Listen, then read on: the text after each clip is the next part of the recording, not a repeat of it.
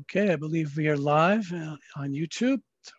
Good afternoon. This is uh, John Beekman from the Jersey City Free Public Library's New Jersey Room, which is a part of the Reference and Research Department.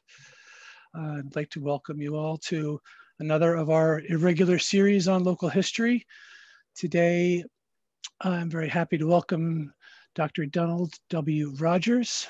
Uh, legal historian Don Rogers recently retired from Central Connecticut State University has previously written on the struggle for workplace safety as well as the, as the history of voting rights. Uh, in his new book, uh, Workers Against the City, the, the Fight for Free Speech in Hague v. CIO, he provides a fresh look at that landmark Supreme Court case, which looms large in local history in Jersey City as one of the defining moments of the long mayoralty of Jersey City Mayor and political boss Frank Hague. Based on a deep dive into court records of the case as it wound its way from New Jersey through the federal courts, ultimately being decided in the Supreme Court, uh, Don first expands the context in which the case is usually described, bringing in labor history as the CIO challenged the older AFL's craft unionism in a drive to expand union protection to a wider range of industrial workers, as well as changing norms in police practice and the shifting balance of municipal, state, and federal power to regulate public space and expression. So perceptions of this conflict are based in the contemporary framing of fascist Hague versus communist CIO and ACLU. Um, that's to use the epithets each side used to, against the other during a series of confrontations in the streets and in the press uh, across 1937 and 1938. These perceptions have persisted through the present day, uh, Dr. Rogers contends, clouding a wider range of issues at play in this pivotal period in American political and legal history. Uh, by drawing on extensive archival study to create narratives uh, of the street and courtroom battles, this new work expands the context in which we can understand these events. Um, Perhaps most striking for us here on this day, the late 1930s, marks a shift in the ideological balance of the judici judiciary um, up to and including the Supreme Court. So with that, I will welcome Dr. Rogers and thanks again for being here, agreeing to talk to us uh, about your work. And before we get into your presentation proper, uh, maybe you can just tell us a little bit about what led you to this topic several years ago when you started your research, because uh, at that time it would probably not be quite as clear just how relevant some of these issues you talk about um, would become by the time it reached publication. So I have a very, thank first off, thank you for the privilege of being on the program with you. Uh, and thank you for the privilege of uh, working in the Jersey City Free, uh, Free Public Library, a New Jersey room uh, archives. Uh, that was all very helpful. Um, I have a broad interest in the development of civil liberties uh, in the 20th century. Um, and as I learned about this subject and traced its development over the course of the 20th century, I was struck by this case in, uh, in Jersey City um, because uh, it seemed to me it was not just a local case, as is often described, but it had uh, larger national implications and also thought it was important that organized labor was involved. And organized labor is no, often not thought to be an agent uh, for, for, for, promoting freedom of uh, expression uh, and freedom of assembly. So I thought that, that the case deserved a, a closer look. And, uh, and as I got more, uh, deeper into the study of it, I found out that there's a lot more to learn, both about what happened in Jersey City uh, and the connection of this case to nationwide developments. All right, thanks. That certainly uh, certainly proved to be the case, and uh, I, I, appreciated helping you with the research when you were in the New Jersey room. It led me to some uh, some interesting resources, and and I was learning from you even as you were researching this. So um, it's really great to see the final product here, and um, again, just thank you for for joining us to uh, to share a little bit uh, about what you've written here. My privilege.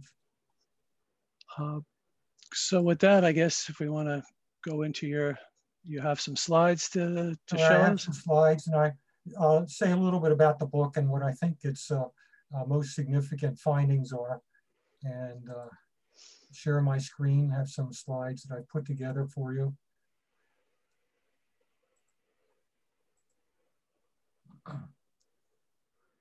So the cover of the book I tried to put together is a, uh, a, a picture of a CIO rally uh, in late June 1939, something that the city prevented from happening for almost two years. And the other side is a picture of the uh, Jersey City Commission uh, with uh, Mayor Hague uh, right in the middle. So that sort of captures the idea of workers uh, against the city. Um, I thought I would begin by talking a little bit about the controversy that led to this case of Hague versus CIO, which is a case that centrally involves freedom of assembly uh, and freedom of speech in public places. Uh, and the controversy um, evolved over really three uh, phases in late 1937 to the summer of 1939. Uh, and the first phase is when the CIO, that was then called the Committee for Industrial Organizations, later the Congress of Industrial Organizations, uh, was expanding its influence onto the East Coast having won some battles out in the Midwest. They expanded the East Coast and attempted to enter Jersey City. Uh, and on November 29th, uh, 1937, um, outsiders in the CIO entered Jersey City uh, to uh, advertise a rally uh, at People's Center on December 3rd. And you can see these are these are labor organizers um, uh, you know, here is your, your the last uh, great chance you have for every worker in Hudson County. Hudson County is the seat of Jersey City. The biggest opportunity of your lifetime, the opportunity to organize for better wages, the security of your job, and, and for a better life under the protection of a CIO contract. So, so these, these are labor organizers. And I'd like uh, the phrase below, be wise, organize, join the CIO. So um, these organizers uh, entered Jersey City early morning uh, on uh, November 29th. Um, and they picked up their pamphlets and they marched down to Harbor Place. and there they were met by the Jersey City police who had been alerted that the, the these um, um, pamphleteers were, were coming. Um, there had been alerts in the newspapers that the CIO was going to invade. That was a pregnant word, invade Jersey City. Uh, and the Jersey City uh, police met them, uh, advised them that they were violating a 1924 ordinance against passing out pamphlets on the, on the streets. and um, as they police warned them to not do this anymore, the workers understood the implications of what they were doing because they shouted out, we have the right to distribute circulars. We have, we want our rights. The hell with your phony ordinance and probably not not too smartly, they said to hell with police. And uh, so uh, you get this melee and the police bust up their, uh, their efforts to pass out leaflets. Uh, they put some of them on the ferry and send them across the river to New York City on the uh, New York City ferry that was called deportation. Um, some of the uh, onlookers were punched by, by policemen, some plainclothes, some in uniform, and 13 were arrested. and we can't see the whole newspaper headline here, but on the right, basically it describes how the Jersey City Police, uh, um, you know, stopped this uh, event without much, you know, without much disorder. So that's sort of the first phase. And the second phase is a protest phase that lasts from December 1937 to the beginning of the federal um, injunction hearing in June 1938. Uh, and this is where um, the CIO and its ally very, very significantly um, uh, its ally, uh, the ACLU, we can't see Morris Ernst's uh, picture here on the far right. He was the attorney, New York attorney um, uh, working for the ACLU, American Civil Liberties Union. Um, those two partnered together. and The ACLU's involvement is very important because that shifted the controversy very uh, in a pronounced way away from labor rights, uh, labor organizing, forming unions to the civil liberties issues of freedom of assembly uh, and, and freedom, freedom of speech. And so the, throughout the next uh, following six months, uh, the Jersey City Public Safety Director denied uh, public speaking permits. Uh, and when uh, CIO and sympathizers try to rally anyway, uh, those rallies were busted up for police or, interestingly enough, by the, the American Legion, which strongly backed Mayor Hague. And this became a media sensation. John correctly, you know, indicated that this became a kind of shouting match between Jersey City was complaining about communists inventing and invading uh, Jersey City. And on the other hand, the CIO, the ACLU, and others were saying, well, uh, uh, Mayor Hague is acting like a fascist dictator. So you get this sort of anti-communism against versus anti-fascism. And then the third phase is when the, the, uh, uh, the street fight um, entered the federal courts uh, in June um, uh, June 1938. The case was filed early in 1938, but didn't actually get enter court in Newark, a district court in Newark. And uh, it's important to note is that the law was very much in flux. Uh, is that the, uh, the uh, constitutional status of freedom of assembly had not been yet nailed down. So in many ways, the, the court proceedings, which will go from the district court in Newark to the Third Circuit Court of Appeals in Philadelphia, and finally to the US Supreme Court, I mean, that whole process is partly is involved, you know, in, uh, in nailing down the constitutional status of freedom of assembly in the process of determining that an injunction should be imposed upon Jersey City uh, and declaring uh, one of its ordinances unconstitutional. Uh, and eventually uh, this reached the Supreme Court and Supreme Court decided in favor of the CIO and the ACLU. And here is a, um, uh, a CIO cartoon depicting uh, their, their image of what they thought this stood for. And um, I have this in the book because it's not entirely accurate.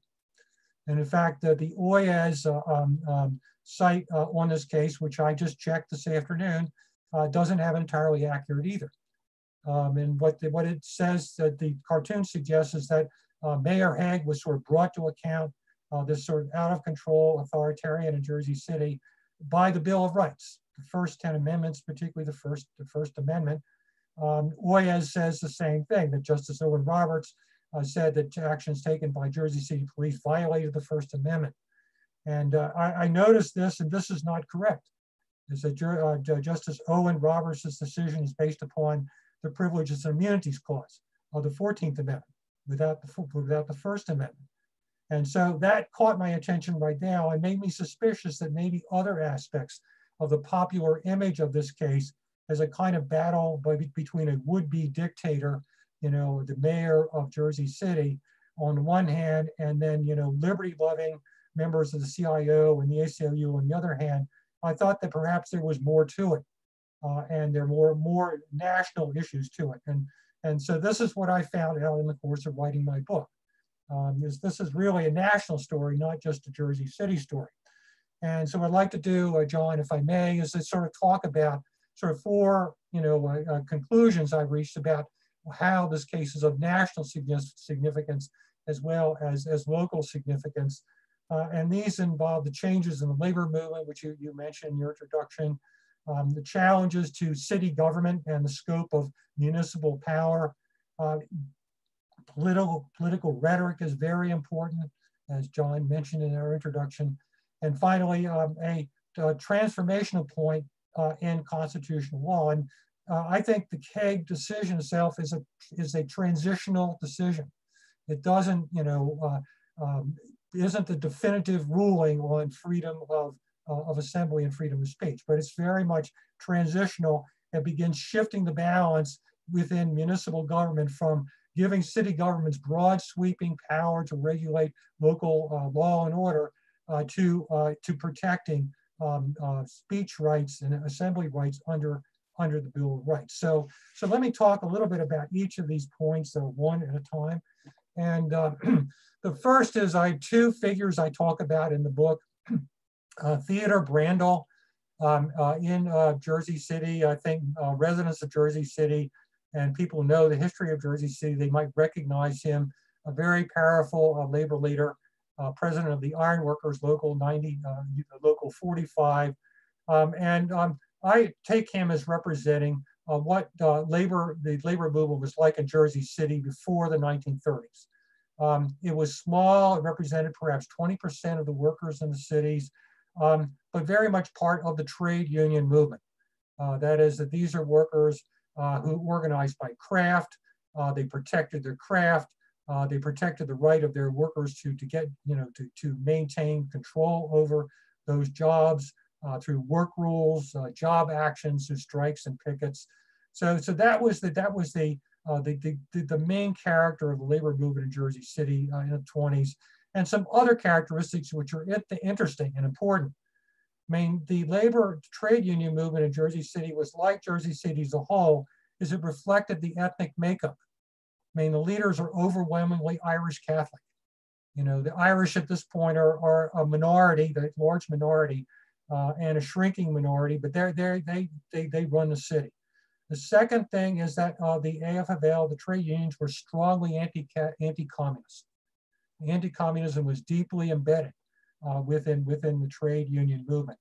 Um, as it was in other constituencies in Jersey City, uh, the churches, Roman Catholic Church, uh, the veterans uh, groups, um, other groups, uh, very, Jersey City is almost across the board uh, anti-communist. And Mayor Hague will take advantage of that. Um, a, a, very important point is that the, the unions, the trade union unions in Jersey City, um, um, those affiliated with the New Jersey State Federation of Labor, those affiliated with the Hudson uh, County Central Labor Union were strong political allies of Mayor Hague.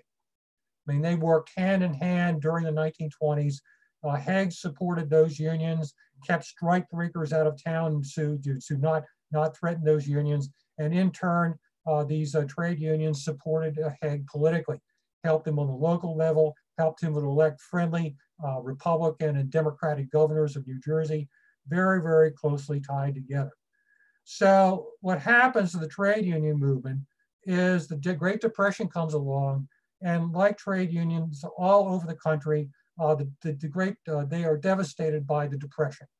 Their membership declines, they're not taking as much money in as much money in dues. Uh, the unions struggle to survive and some of the unions uh, resort to racketeering. Just they, they use strong arm tactics to keep their men on the job. And that's one of the things that leads to uh, um, Theodore Brandle's uh, confrontation with Mayor Hague in 1931 over the construction of the Pulaski Skyway. Uh, this is a famous event. Um, uh, it's a, uh, discussed in um, um, The Last Three Miles uh, by Steven Hart, a very good book. Um, and the, the way I see this is this what the, the that fight between Hague and Brandle about was over whether uh, the Pulaski Skyway would be unionized and unionized with Brandle's men.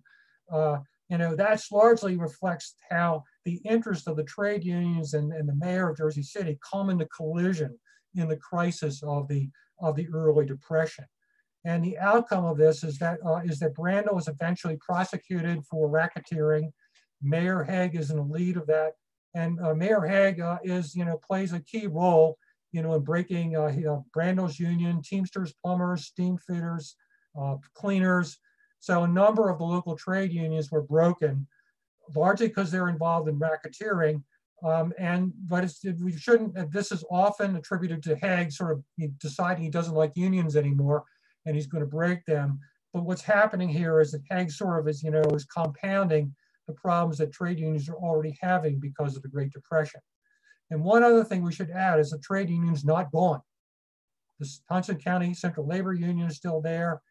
They, they're unhappy with Hague, but they're still backing him. The New Jersey State Federation of Labor is still there. They remain allies through the whole CIO affair. So, and then you get the other side. We can see the half picture of William Carney. He's the organizer from the CIO. Uh, he's a coal miner by, by um, occupation, uh, became a labor organizer in the um, CIO's Midwestern campaign. Um, the Midwestern campaign was a really tough fight. And Carney very much uh, exemplifies that macho style, you know, of the of the Midwestern CIO. And he, you know, just like he wasn't going to let uh, the, uh, you know, auto and steel executives push the CIO around, uh, he wasn't going to let Mayor Hague push the CIO around. So you got that that feisty, you know, uh, attitude. And so um, um, um, Carney um, sends the CIO into Jersey City um, from Newark. He's uh, based in Newark, sends the CIO into Jersey City uh, in the fall of 1937, and that causes the confrontation. And what this produces in Jersey City is a split in the labor movement. I mean, basically, you know, much like much of the country, uh, the CIO splits the labor movement between sort of the AFL, the trade union faction, and the CIO faction. So we have see John Lewis's uh, picture is, is cut off there. He was the president uh, of the CIO. So the labor movement is split nationally. It's split in New Jersey, it's split in Hudson County, and split in Jersey City. And what happens is that the trade unions sort of you know join with Mayor Hague against the CIO, and they each have their separate reasons. I mean, the trade unions see the CIO as an organizational rival.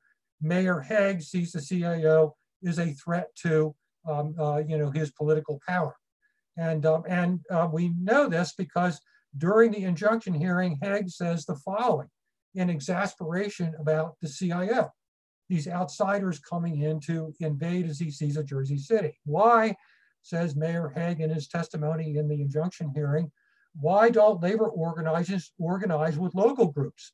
Why do they come in from Brooklyn and New York? And why don't they do it with the American Federation of Labor and Jersey City? So, so you see, I mean, it's a Hague is often branded as being anti-labor, but that's misleading because Hague is still very much in alliance with the with the with the trade unions uh, and, and, the AFL, and that remains true uh, through through the uh, this the CIO and uh, Jersey City affair. So um, the CIO is very threatening uh, to many constituencies in Jersey City. Obviously, employers, the Chamber of Commerce, horrified by the CIO. Um, politicians don't like the CIO because of the, the ruckus that they, uh, they created in the Midwest. Uh, the CIO is moderate in goals. The CIO wants to create collective bargaining units and, you know, and uh, stable, you know, um, uh, union contracts, but their, the style of the CIO is militant. They mass protests, uh, you know, sit downs, you know, and, uh, and that, that is a threat to, you know, Mayor Hague's control over the city. And so I think it's largely for political reasons. I mean, that Hague is closely, you know, has close friendship with the Chamber of Commerce, but I, I my conclusion is for political reasons that Hague, you know, is uh, is frightened by the CIO, and so so that's why we see Jersey City right from the beginning puts up a, you know, a resistance to the CIO when it enters in uh, in November 1930, um, um, 1937. So, so just, uh, just, just ahead, before we, yeah, just before we move on uh, through that, uh, I was really struck in your book that uh, was, I mean Harry Harry Bridges was also involved with the CIO. Is is that is that right? Am I remembering that correctly? Uh, of the longshoremen, and I, I don't know was... the.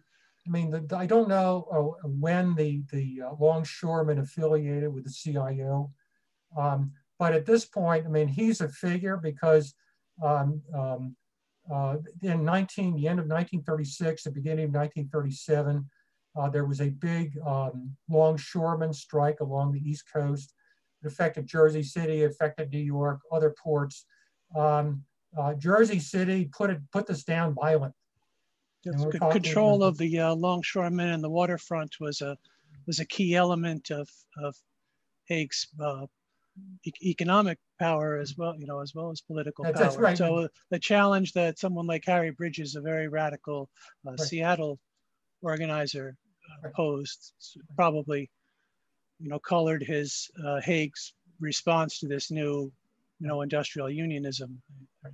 Uh, well, that's true. I mean, I, it's I, I, don't know that Harry Bridges ever, ever went to the East Coast, but certainly Jersey City, City uh, the leaders thought that he was uh, you know, a mastermind behind uh, the East Coast strike.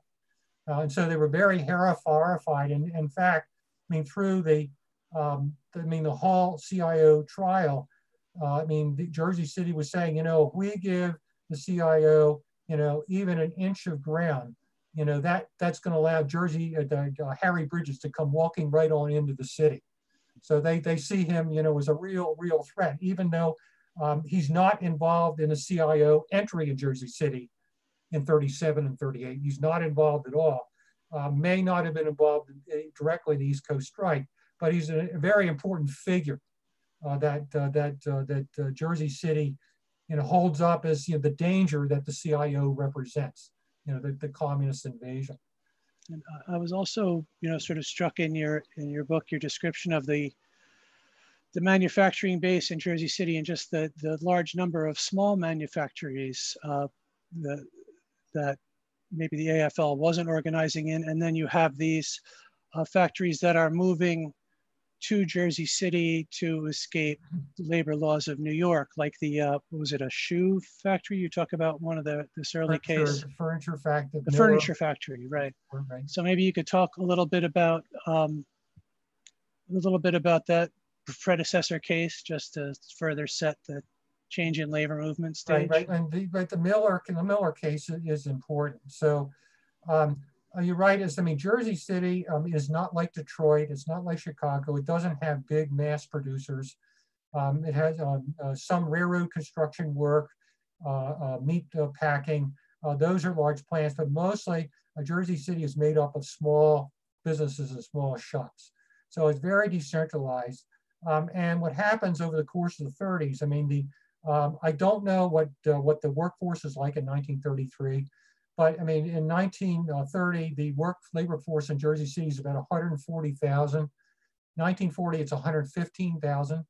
So uh, Jersey City got re hit really hard by the Depression. I mean, that's a that's a big drop by 1940, and that probably was lower in the middle of the 30s, about 18%. So a lot of the, the, the small uh, factions closed, and what happens is new kinds of small shops move in, including in the apparel, apparel industry. That's one of the, so the uh, Unita Slipper was one of the notorious sweatshops uh, in Jersey City. Um, and um, and uh, Miller Furniture, uh, which uh, is sort of typical of what's happening. Miller Furniture was a company from Brooklyn um, that had a union contract under the a uh, one of the National Industrial Recovery Act um, fair codes of fair practice, uh, and and wanted to escape that contract and then relocated across the river in Jersey City, which by the way was a common pattern. It's that these firms are not just going to Jersey City, they're going to other uh, New Jersey uh, uh places uh, trying to escape their union contracts. And when the, uh, the um, um, uh, Miller Furniture came into Jersey City, it hired non-union labor and a radical union, the Furniture Workers of America, not the employees, the former employees, but this other union threw up pickets uh, in Jersey City uh, around the furniture company. Uh, the furniture company got uh, an injunction to stop the pickets, uh, and the, the, the, furniture workers did it anyway. Um, and um, and the Jersey City argued that, look, these aren't employees of the company, therefore this is an illegal picket. And according to old picket law, that's correct not maybe not true in 1934, uh, but that they, they sort of follow the old law.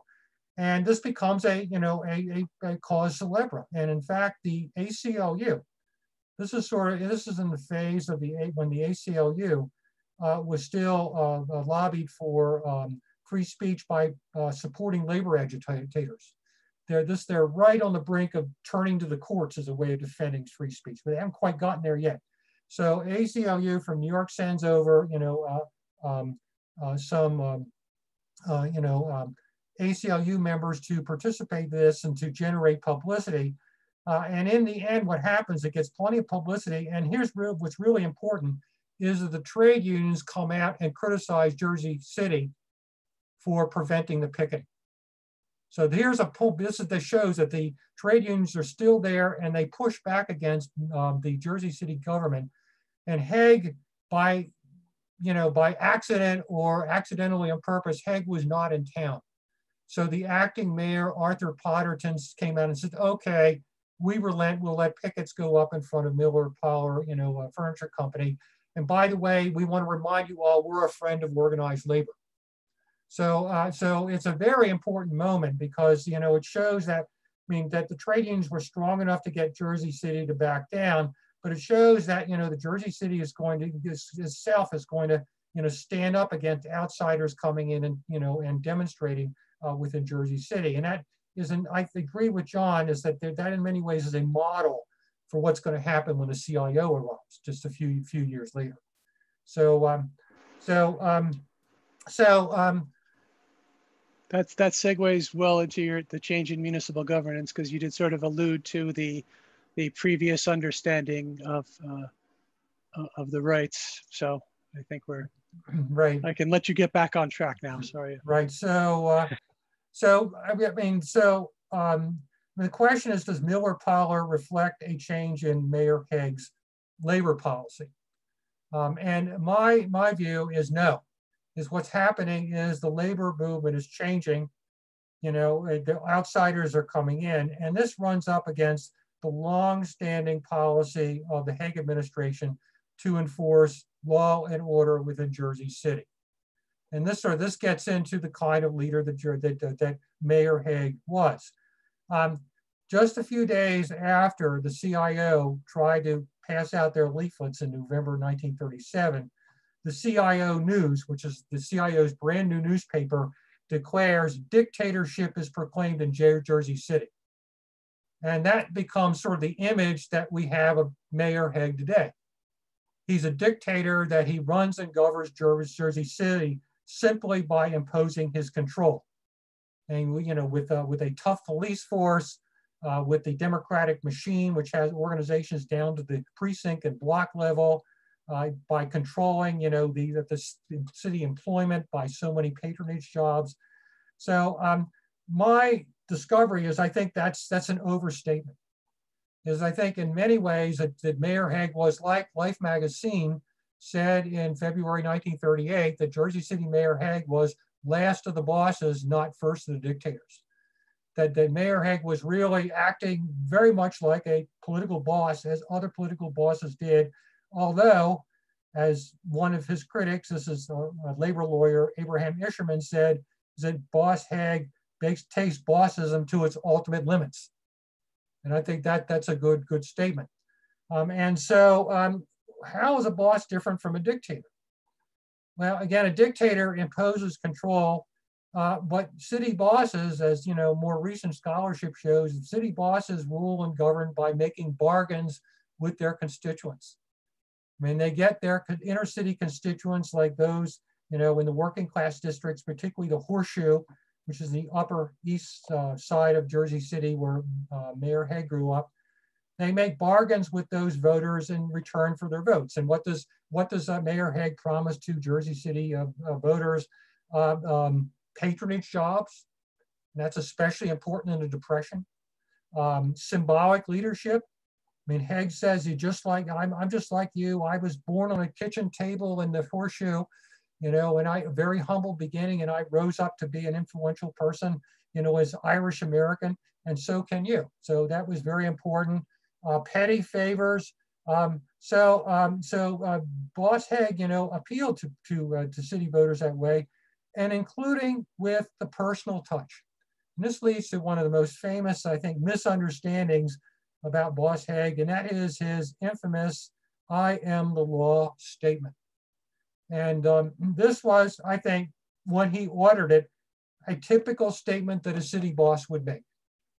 Uh, he was speaking to a religious meeting in uh, early November 1937, uh, and he was talking with some truant officers who said, look, you know, these young men are truant from school. I mean, we, we have to send them back to school, you know, and Boss Hague says, wait a minute, we can't do that. And the, the, these truant officers said, well, you have to do it because of the Jersey, New Jersey law, the Working Papers Act.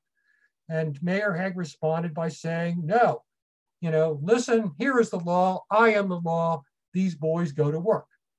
And what Hague was thinking, look, these young men, they're just going to get in trouble again. They're going to go truant again. So let them go get a job, let them mature, and maybe they'll, they'll consider to go back and finish their education. Now, this is typical bosses, the way bosses would bend the rules on the local level to please their local uh, constituents. And so uh, it's covered up by our, you know, our um, uh, faces there. Uh, but this is very similar to a statement that James Michael Curley said in Boston. I mean, Curley said, you, you know, city rulers have to, to lead, even if you have to break a few laws and tear up red tape.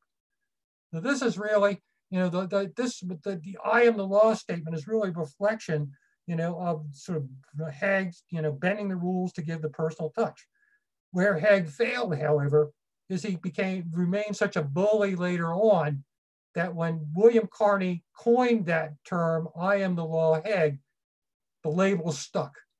I mean, so Hague's behavior later, later, later on, you know, basically, you know, makes him quite guilty of having that label stick. So um, just a few more points about Hague and, and his, uh, you know, his method of ruling and why there was this confrontation with the CIO. Um, interestingly, Hague was a second generation boss. I mean, city bosses in Jersey City go back to the 1880s, 1890s, but Mayor Hague uh, rose into municipal politics in the 1910s, second generation Irish boss in the middle of the progressive era. And so ironically, Mayor Hague was boss and also part progressive reformer. He's part of a major reform in city government. That's the creation of the City Commission uh, in 1913. And I share with you this uh, cover of the city municipal, municipal uh, minutes, which sort of shows you sort of the, the, the, mission statement of Jersey City under the commission government. I mean, I like the slogan at the bottom, the gateway of municipal opportunity.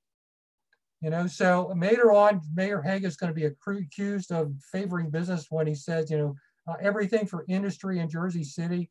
In many ways, that slogan is planted in the sort of the political culture of Jersey City. So he picks up, picks up, picks up that, that slogan. But more importantly, Mayor Hague was a police reformer. This was a major reform of the progressive era because police, uh, city police departments were corrupt. They're very much part of the old-fashioned decentralized city political machines. And under the consolidated city commission, uh, Mayor Hague basically um, centralized the police department and himself became a what one historian, uh, Paul Boyer, called a coercive moral reformer. That is, that Mayor Hague makes a name for himself by promoting sort of moral control in Jersey City and keeping out crime. So Hague is talking about you know, Jersey City is the cleanest city in the country, the most moralist city in America.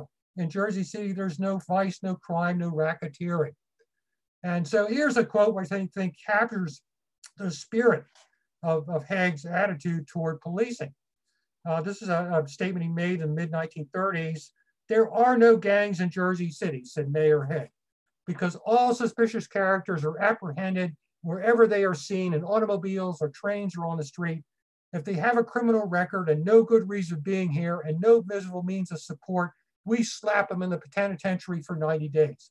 And I want to tell you, they stay there for 90 days. When we let them off the rock pile, they're not anxious to go back to Jersey City.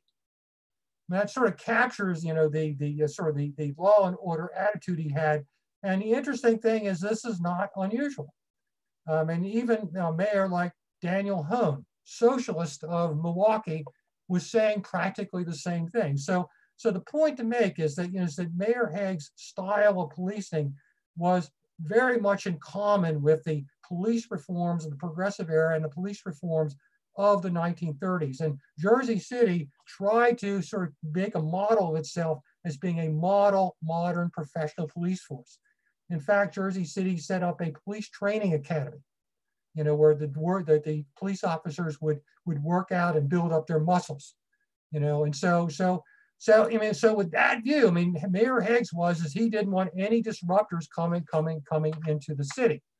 So and um, we have to add that I mean the other side of the coin of sort of the Mayor Hague's, you know, keep the clean the streets clean, you know, law and order style is that Mayor Hague most certainly used the police for political purposes to beat up you know, literally beat up dissenters. A famous one that got roughed up a lot was James Jeff Burkett. Uh, there's a, uh, a photograph online. I can't show it to you because it's under copyright, uh, but it shows Burkett with a muzzle on his mouth and with a sign saying, I cannot say a word, I've been gagged by Hague the tyrant. So, so Hague used the strong arm police against, you know, uh, his uh, political dissenters. That's sort of the, the other side of the coin. and Hague was also known as were bosses for election fraud. And this is particularly true in the gubernatorial election of 1937, which is very important uh, to our story. Um, and because 1937, this is November 1937, within three weeks before the CIO was going to come into New Jersey City, uh, there was a disputed election between um, favorite Senator A. Arthur A. Harry Moore um, and Republican Presbyterian minister from Essex County, Lester Clee. Um, and uh, Harry Moore won that election by 45,000 votes out of 1.4 million votes cast. So it's a pretty close election. And the, the remarkable thing about it is that Clee, the Republican, won all the downstate counties, which is sort of the rural part of New Jersey, won all the downstate counties, but in Hudson County, you know, one of the urban counties, um, uh, Harry Moore, uh, the, the, the Democratic candidate, Hague's, you know, ally, won by an astounding 129,000 votes you know, and it doesn't add up. I mean, there aren't that many registered voters, you know, and Clee's investigators found out, you know, there's people voting more than once. This is before paper ballots, right? People were voting more than once. Uh, you know, there's, uh, you know, uh, iffy votes, you know, coming from, you know, uh, old, you know, old age homes and things like that. So, and, and Hague is under investigation and uh, Clee gets the recounts. In fact, a, a judge, uh, Judge Brogan, who's a Clee Hague ally, allows a recount. So Hague is in big political trouble. And think about that. Hague is in big trouble. Republicans in the state legislature are trying to open the voting records in Hudson County to see, you know, how the vote was counted. And it's just at that moment that the CIO shows up. So, so Hague is facing a political crisis. And so this sort of leads to, to, um, um, to an important point, and that is that um, at this point, the law is on Hague's side because the Supreme Court, although is beginning to inch in the direction of applying the First Amendment on the state level during the 1930s, it hasn't quite reached the issue of freedom of assembly yet. And this basically what this means is the old law, going back to the old interpretation of the First Amendment. So we see part of it here First Amendment says Congress shall make no law respecting an establishment of religion or bridging freedom of speech or the press or the right of people to peacefully assemble. The Supreme Court back in the 1830s says, well, this and the other Bill of Rights don't apply to the states. So the, then the Supreme Court had not yet adopted the, the 14th Amendment to apply this to freedom of assembly. So that what the, the so what's happened is, is, that, is that constitutional law had created a kind of shield for mayors like Frank Hague and other jurisdictions to basically, uh, you know, get away with what they're doing because the federal courts have not they basically found a reason uh, to intervene. And so what's happening on the local level is that uh, freedom of assembly cases are decided mainly by common law. Um, a common law that viewed the powers of a municipality very broadly, that you know, they, the municipalities had, they, had they, you know, almost a uh, ownership right over public property in the in the cities uh, to um, um, you know control speech and you know and activities there. Um, the common law, the illegal assembly, uh, which you know put limits on what people can do in public. So so the point is, is that the local courts are deciding uh, freedom of speech in that way. Um, and uh, and so this gives Jersey City some some a lot of power, and it's in in in that sort of situation that Jersey City through the winter and spring of 1937, 38 rather, uh, that Jersey City shuts down the CIO operation and the operation of its supporters. Uh, the CIO can't get speaking permits. Uh, the ACLU can't get speaking permits. Other speakers try to come in. Norman Thomas tried to speak at a protest rally in April 30th without a permit. Uh, the police, uh, he, uh, Thomas literally arrives in his car. The police grab him, put him in another car, take him to the Hudson River Ferry and send him across the river to, uh, to New York City. Um, um, other, uh, the, the, others try to hold a rally. The International Labor Defense, which is actually a, a communist front organization, uh, did try to hold a rally in Jersey City. but when that happened, the American Legion showed up, led by Hugh Kelly. Hugh Kelly's an interesting figure. Somebody should do some research on him. Um, an architect, former artillery officer in World War One. Uh, when when the when the, the uh, you know, speakers in favor of the CIO or the ACLU showed up, you know, whether they're congressmen like Jerry O'Connell or Norman Thomas. Hugh Kelly called out the Legionnaires, you know, and said to them, you know, let's get ready. You know, and he said, quote, don't let us start anything, but we'll finish if they start anything. So the American Legion is supporting them. So, so you get this, this, this fight in the winter and spring of, of 1938 when the law isn't clear, that the federal courts don't have a clear, you know, jurisdiction to, to intervene yet. Um, and uh, in this juncture, then we get to my next point. I'm watching the clock, John. Um, we get to our next point, and that is that this becomes a rhetorical war uh, between, you know, between Jersey City on the one hand and the coalition supporting the CIO on the other hand. Uh, and Mayor Hague embraces the language of anti-communism which he first adopted back in the Miller Parlor uh, incident. Um, this is not new. Anti-communism was deeply embedded in American political culture. Uh, it was, you know, um, festered from World War I onward through the 20s and the 1930s.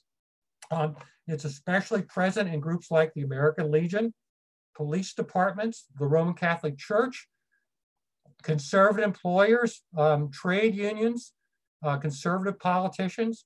So the point is, is that Jersey City was really a bastion of anti-communism. And what Mayor Hague was basically able to do is to tap in to that sort of latent anti-communist sentiment for political purposes. So, I mean, often it's portrayed that it, Mayor Hague sort of orchestrated all this, but in many ways he took advantage of the local political culture uh, anyway you know, and so uh, he accuses uh, the uh, CIO and ACLU leaders of being communists. Here are some headlines. Um, Hague uh, gives evidence to show Baldwin is a leading communist. That's Roger Baldwin, uh, the president of the American Civil Liberties Union. Uh, Ernst, the lawyer for the for the American Civil Liberties Union, he says is a radical. the other headline we can't see is Abraham Isserman, who was a labor lawyer in Newark. Hague says he's the Red Counsel. So, uh, so uh, Hague basically browbeats, you know, the uh, the uh, uh, the uh, the CIO and their supporters as being communists, which he argues that Jersey City needs to keep out of Jersey City to keep law and order. Um, and um, so, what Hague does is he basically rallies his base. This is what we would call it today. I mean, Hague is in trouble over that that that disputed election. So Hague, in, on January 6, 1938, um, which I think has to be reinterpreted. This is often taken to be an anti-CIO, anti-labor uh, um, uh, rally. I think it's a political rally where a lot of different groups get together against the CIO, each for their own purposes. The trade unions are there. They don't like the CIO because they're political competitors.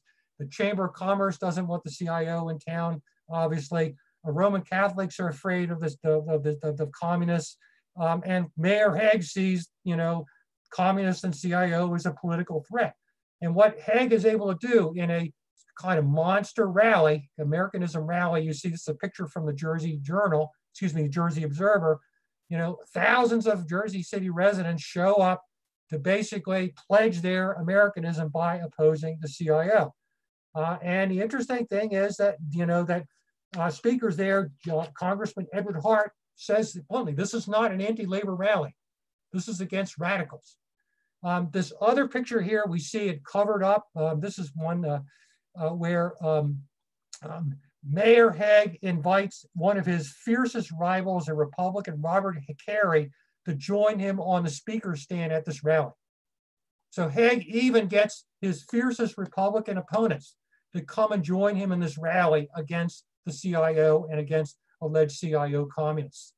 And so Hague is very cleverly sort of using the anti-communist issue to sort of bringing everyone together to solve his larger political problems. And that's why we, uh, we have um, uh, this comment. Um, we can't see it all here, but this is a, uh, a comment by one, a group of uh, detractors, um, uh, you know, the, against Mayor Hague, the Workers' Defense League, which is a New York group of socialists and one, this is how uh, one observer from the Workers' Defense League described what Mayor Hague is doing. Caught in scandalous election frauds. Got that? He's putting election frauds up front. caught in scandalous election frauds, Hague finds that Reds are about to invade Jersey City, and soon the cry of election frauds is forgotten and drowned out in the wild shouts of the Reds are coming. Out come the bands, the faithful legion, the flags. Out go civil liberties. Freedom of speech might again direct the minds of people to election frauds. So that thing shows you this is not this is the large about larger political agenda uh, that that uh, that Mayor Hague is facing. So um, opposed to Mayor Hague was this coalition against him, which is largely comes about because of the Popular Front. The Popular Front was a coalition of, of uh, New Dealers, socialists, CIO leaders, labor rights activists, journalists, even some communists against fascism as it was rising in Europe. And so you hear a lot of the people in that sort of that left coalition, the Popular Front, warning Americans that their democracy is under threat by would-be fascists, you know, whether it's Father Coughlin or Mayor Hague. And so here we see uh, some of the um, uh, some of the um, literature against Hague. This one by Norman Thomas. Hagueism is fascism. Captures the the uh, the uh, the uh, idea. Unfortunately, we got the best one is on the right. It's covered up by our our faces. Uh, this is a New York Times cartoon which shows Mayor Hague in a Nazi jacket with a Heil Hitler salute. And you can see the sign, this is Jersey City, keep out you. Um, and the interesting thing is you can see that it dresses Mayor Hague in a Nazi jacket, but he's wearing golfing pants. And in the background, there is a caddy carrying his golf clubs, uh, and the caddy is labeled Jersey City taxpayer. And that alludes to the, the uh, allegations that Jersey City was going on corrupt Florida uh, you know, vacations at the expense of Jersey City taxpayers. So you get this rhetoric against him. And it's really this anti-communism versus anti-fascism sort of rhetoric back and forth that sort of shapes our understanding, you know, the way we remember uh, Hague today. So the Hague versus CIO today. So, just, to, just um, to let you know, Don, real quick, uh, what's what people are seeing on the YouTube stream is is bigger than what we're seeing on the Zoom here. So not everything that is covered up here in the Zoom meeting is covered up um, on okay, YouTube. So I hope they can see so, that whole. Yeah, that com that cartoon was there, loud and clear. Yep. Right. That's a that's a great cartoon. So good. Yeah. So, so in uh, early um, early January 1938, uh, the CIO and ACLU file a lawsuit in federal district court in Newark to secure an injunction against Jersey City to cease interfering with uh, the rights to uh, the uh, CIO and ACLU to get speaking permits, hold public rallies, pass out leaflets, uh, and you know being uh, you know um, deported from the city to, to, to, not have them deported from the city. And um, a lot of people sort of look at this case as sort of, you know, a done deal. That it's all, all that needs to be done is expose uh, Mayor Hague for violating uh, obvious uh, federal constitutional laws. But an important point to make is, is that federal constitutional law at this moment in the spring and summer of 1938 is unsettled.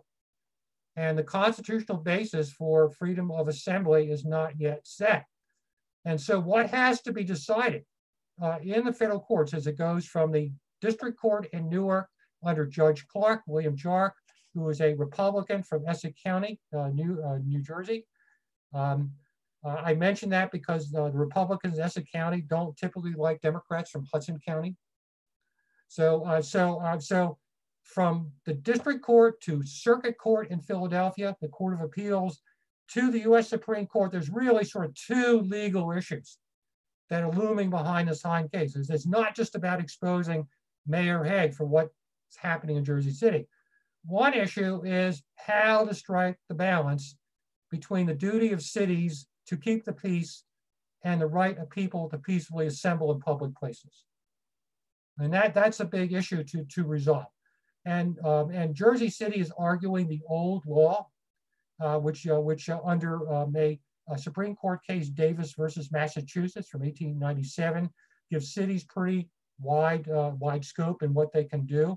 Uh, and how will that will be balanced against new claims that, you know, that people have rights under federal law whether it's under Civil Rights Act from the Civil Rights uh, uh, from the Civil Civil War era, or the um, Wagner Act, or the First Amendment. How are those two things to be balanced? That has to, for federal courts have to work that out. And the other thing that the federal courts have to work out is whether the federal courts even have jurisdiction. And if Jersey City argued under old law going back to these uh, Reconstruction era uh, slaughterhouse and uh, case cases that you know the federal courts don't have jurisdiction in a case like this. This is really a local matter to resolve, and so the courts have to decide that too. So so this is these are these are legal issues. So we go into federal court, um, uh, and the injunction hearing uh, in district court in June 1938 is a really a a wild affair you know, where uh, the, uh, the ACLU and the CIO, the CIO has a lawyer, Spalding Frazier from Newark. They bring one witness after another. CIO organizers, uh, um, witnesses, including some women. Some women get involved, like Nancy Cox, the, uh, pre- the uh, executive secretary of the New Jersey Civil Liberties Union, brand new organization. Um, they bring them to Grace Milgram, who uh, was a witness. Uh, they bring them to testify about the sort of the brutality of the Jersey City Police Department in shutting down the uh, the uh, the pamphleting drive, denying uh, you know uh, speaking permits, deporting the protesters. Um, and uh, you would think that Jersey City doesn't have much to argue back, but what Jersey City argues back doesn't deny most of this. What Jersey City argues back is that based on all old law, you know, is that Jersey City was justified in what it did that what Jersey City had a duty and a right to keep uh, to keep the peace.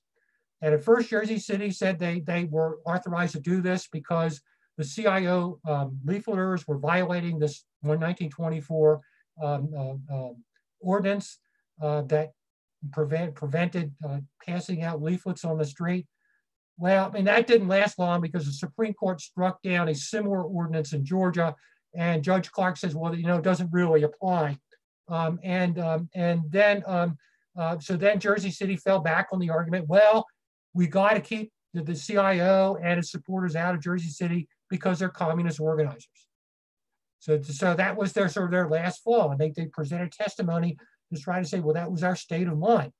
And the most uh, dramatic part of the injunction hearing is when the, um, the uh, CIO and the ACLU got Mayor Hague on the witness stand. And um, uh, uh, Morris Ernst and Mayor Hague did not like each other. And they went after each other. It's, I, I compare it in the book uh, to uh, Clarence Darrow and William Jennings Bryan in the Scopes trial. They went back and forth, and, and Ernst is uh, clearly trying to humiliate Hague, showing him to be ignorant, showing to be him to be an out of control dictator.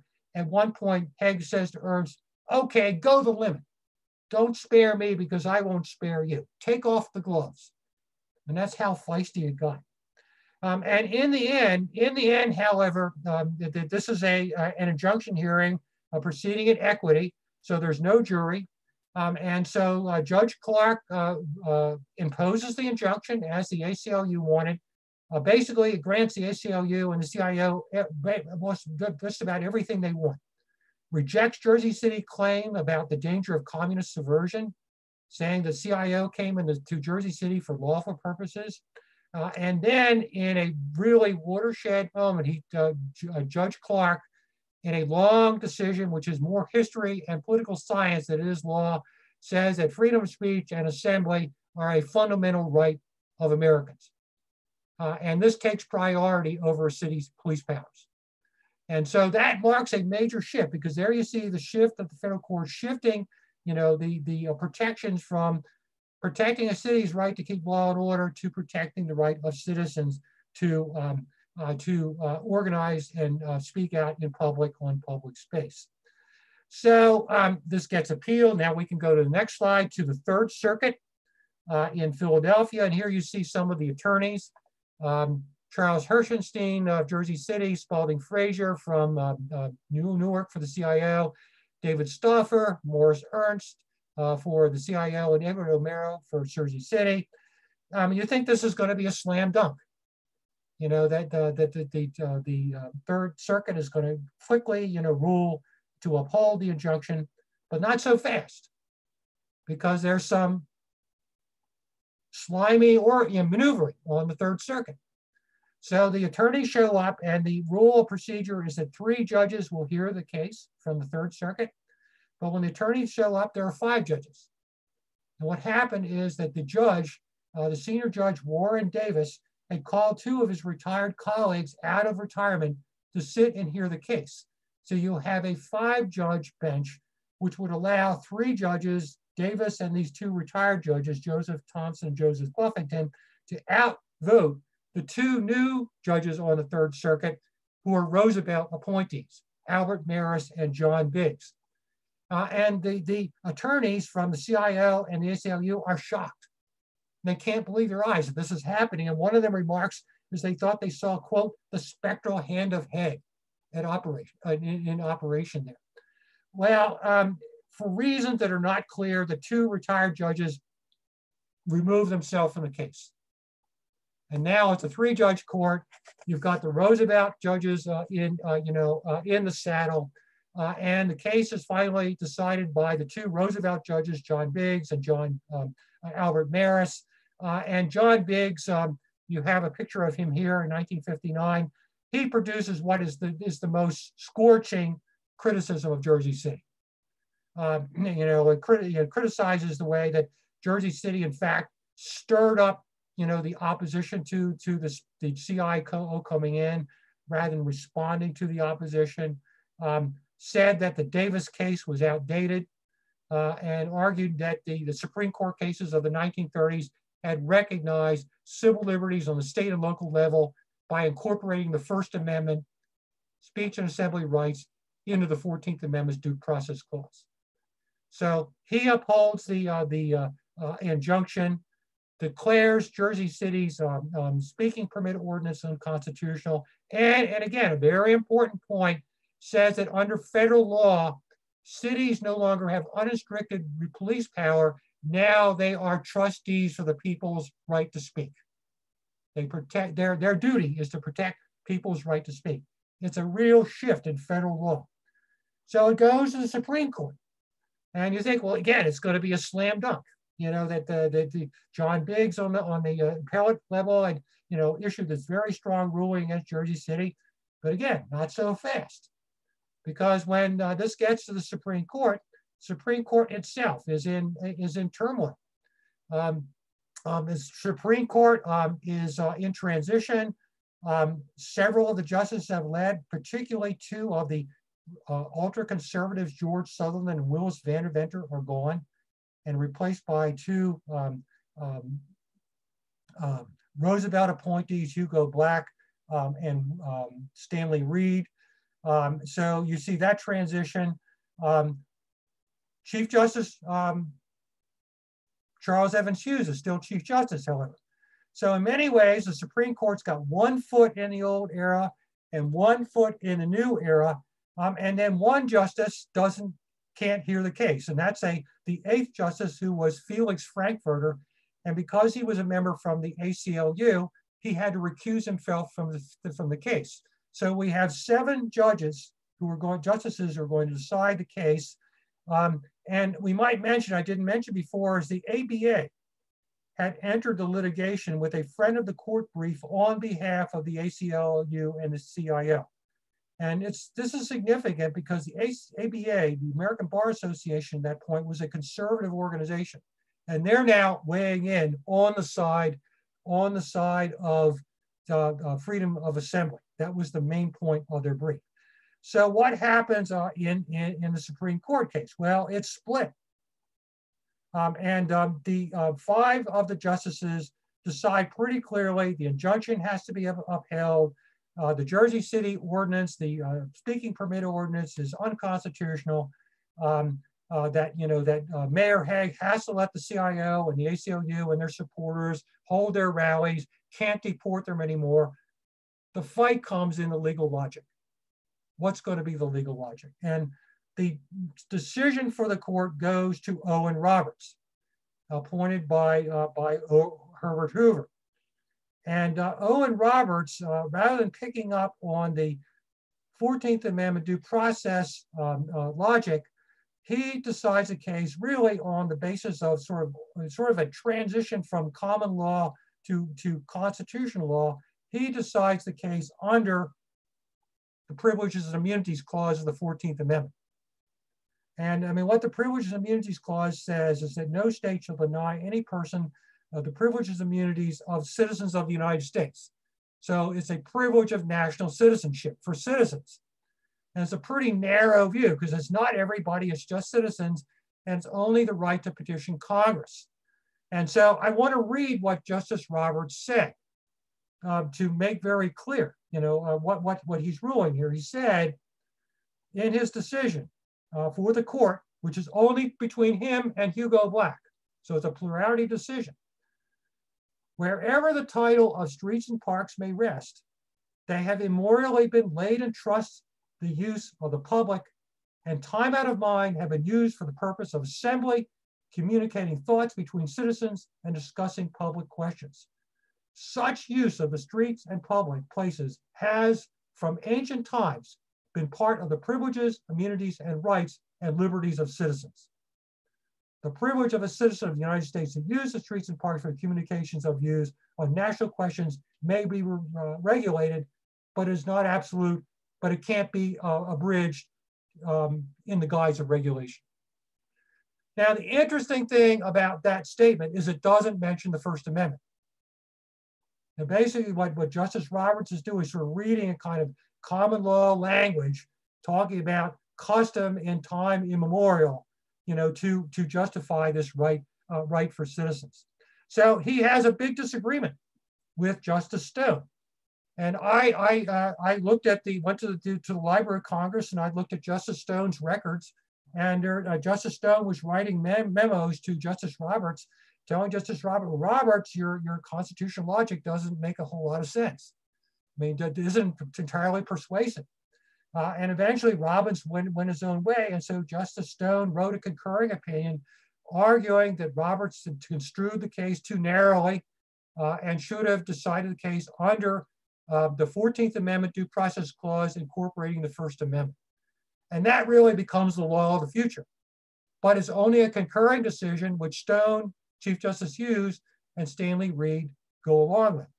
Um, and the final thing is there are two dissenters um, J James uh, McReynolds and Pierce Butler, who would have decided the case in Jersey City's favor.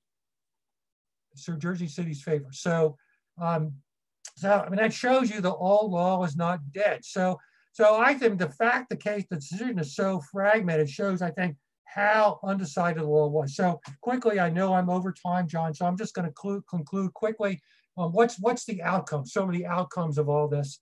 Um, so one is I mean, the, the Supreme Court upheld the injunction, um, declared Jersey City's uh, um, speaking permit ordinance unconstitutional. There's nothing to stop the CIO or the ACLU from rallying, so that's what they do.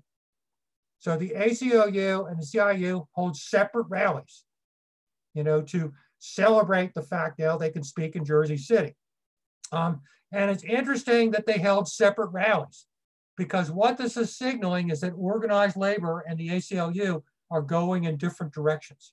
And that labor law and civil liberties law are going in different directions.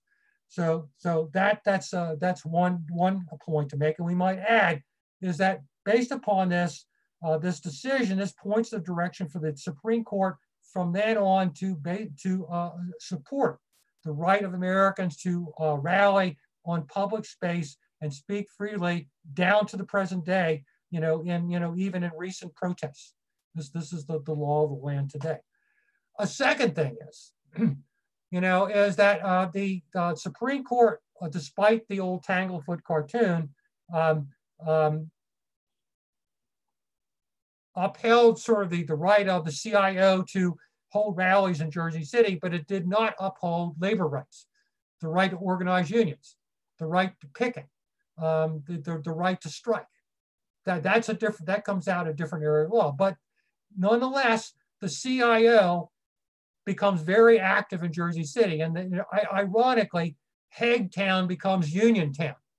The CIO organizes a number of plants, a gypsum plant, a cosmetics factory, um, um, steel fabrication factory, Crucible Steel is one of them. So CIO does very well. And ironically, most ironically, the CIO ends up endorsing Mayor Hague for reelection.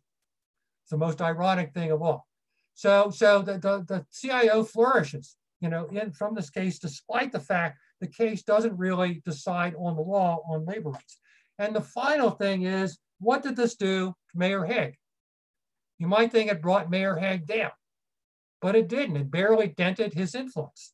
Um, and in fact, I mean, he continued on in power, leading his machine for another 10 years. Um, he did surrender control of the mayoralty to his nephew, Frank Hague Eggers, uh, from 1947. This is a Jersey, Jersey City photo, John.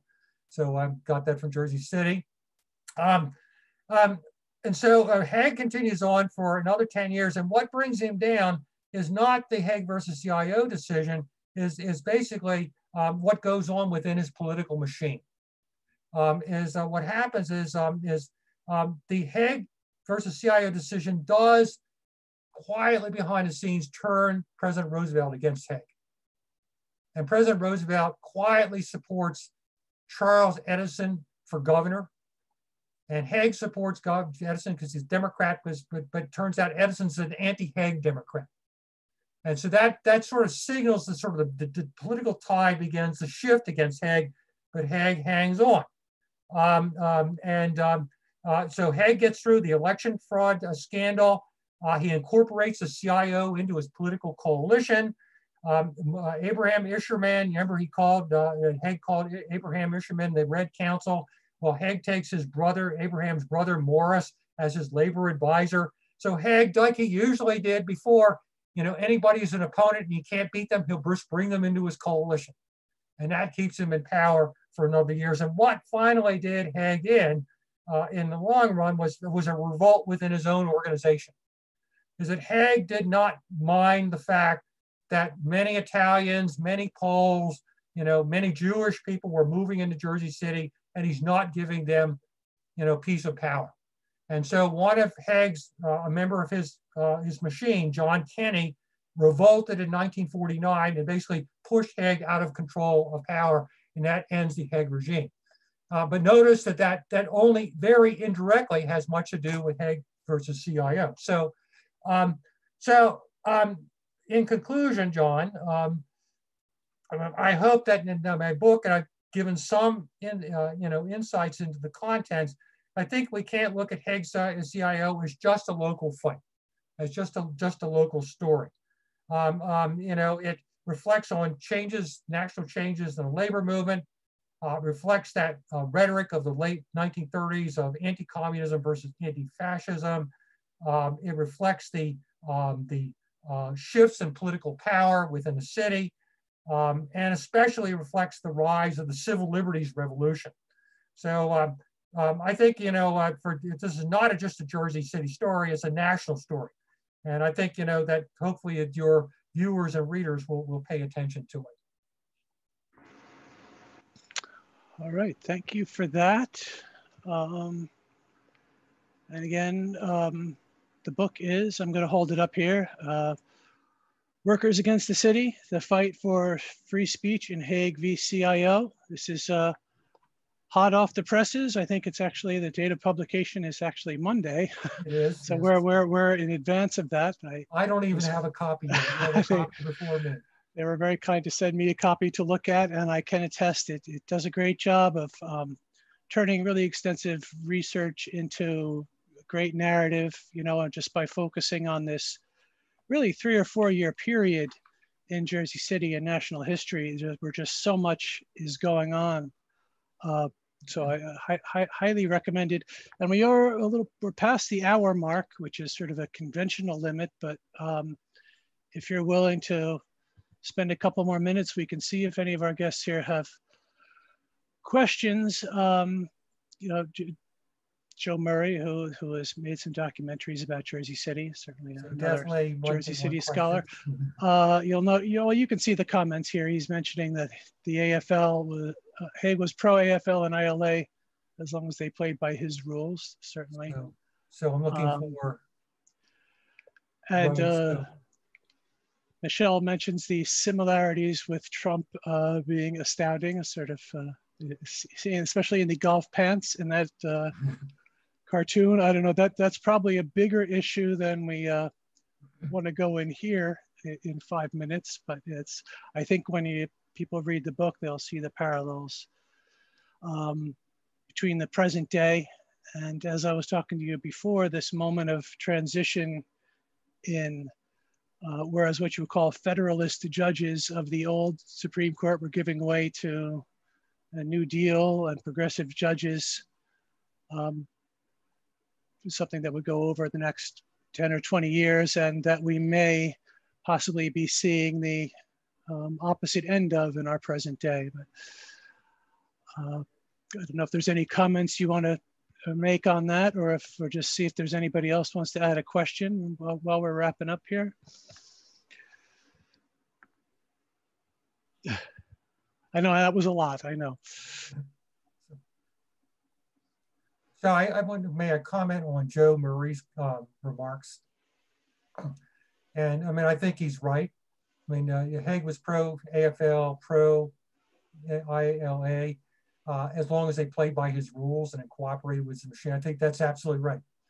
And I mean, what got um, Theodore Brandle in trouble was that Brandle uh, dis disagreed with Hague. And uh, there, I mean, before the um, Pulaski uh, Skyway uh, controversy, um, um uh, there was a fight between Brandle and Hague over unionizing the construction of a powerhouse for the hospital. And uh, um, you know, brought in union labor, but they weren't on Brandle's list. And Brandle got very angry about that, threw up pickets, and eventually Brandle forced Hague basically to buy out the contractor, the original contractor, you know, and uh, pay a big expense to uh, to uh, bring a Brandle's man onto the site. Um, and Hague never forgot that.